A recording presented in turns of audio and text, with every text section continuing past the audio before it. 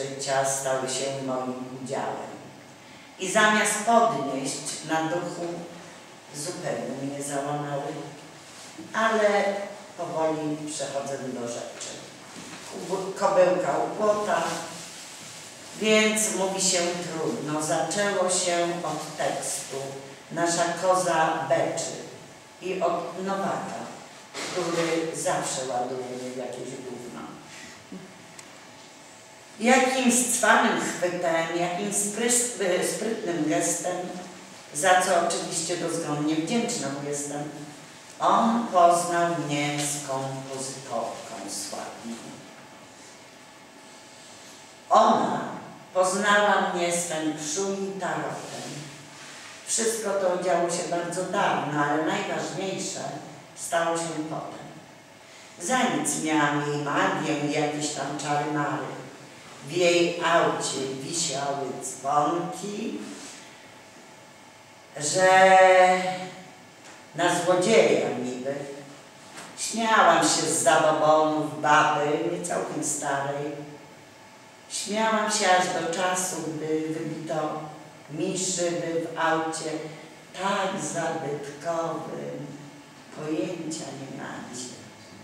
Inaczej w limuzycie, w muzynie czy jakimś szadrolecie, ale mnie to zrobiono w ukochanym Fiacie. No. A kupić się go nie da na całym Bożym świecie. Inaczej już patrzyłam na różdżkę w kasie ręku, na te jej wodospady, pyski przy wejściu do domu. Gdy mi auto ukradziono, to wszystko we mnie pękło.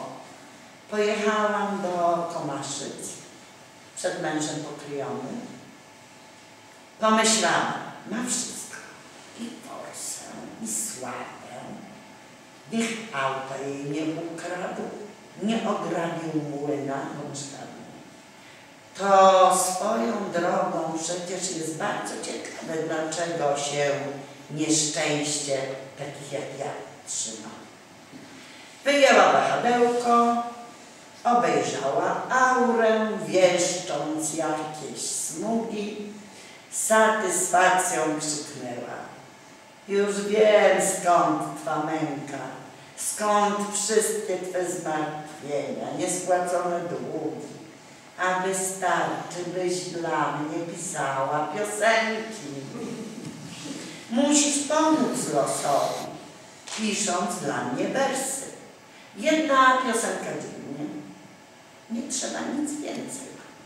Nie będziesz mogła dźwignąć zapełnionej kiesy i uwolnisz od cier- cierpień obolałe serce. Zdążyłam jeszcze spytać o mego faceta, o miłość i inne męsko-babskie bzdury. W jego życiu zastąpi cię inna kobieta.